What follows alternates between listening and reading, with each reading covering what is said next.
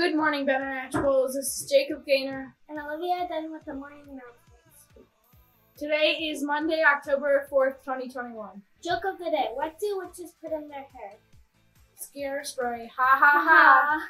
Today is National Cinnamon Roll Day.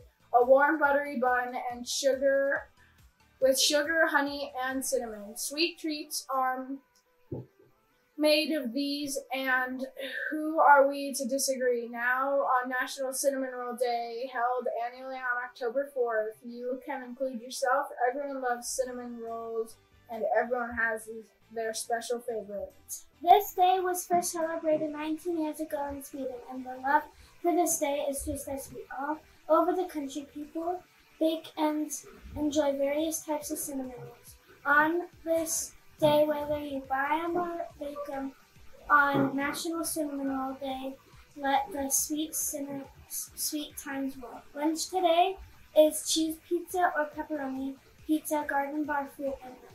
Weather today is a high of 65 and a low of 42. Remember to use your manners and be kind. Everyone have a great day. And And remember, remember, bulls lead the way.